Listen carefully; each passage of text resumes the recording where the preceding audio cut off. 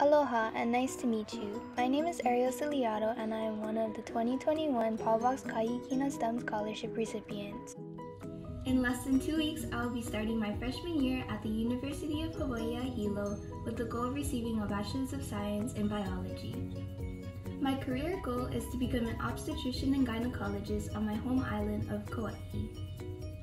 When I first started my scholarship search, the Paubox Scholarship really stood out to me because it encourages Native Hawaiian teens to pursue careers specific in science, technology, engineering, and math.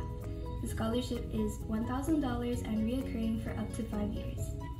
The Paubox Scholarship doesn't just offer financial support as well.